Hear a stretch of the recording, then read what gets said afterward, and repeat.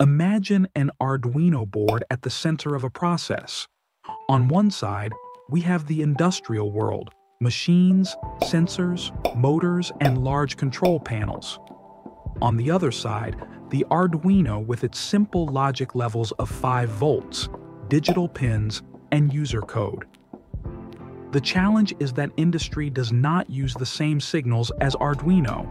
Industrial devices often work with 24 volts, 4 to 20 milliamp signals, or communication buses such as RS485. If we connected them directly, the Arduino would be damaged. To solve this, we use interface modules as bridges. Relay boards allow Arduino to control pumps, motors, or lamps. Optocouplers and level shifters protect the Arduino and adapt voltages. Current loop converters let it read 4 to 20 milliamp sensors for temperature, pressure, or flow. RS485 transceivers enable communication with PLCs and networks using Modbus RTU.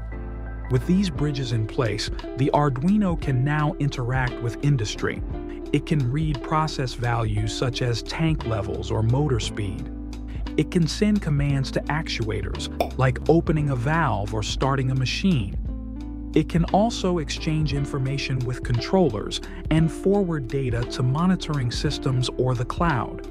In summary, Arduino acts as a translator between the digital logic we program and the robust, high-voltage environment of industry.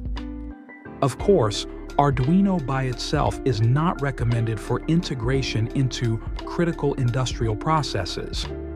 Arduino is a platform with many different hardware options, and its use must always be evaluated for suitability and cost efficiency. When applied, proper electrical considerations and protections must be taken into account. Join us in this series as we explore the features of Arduino in Modbus communication.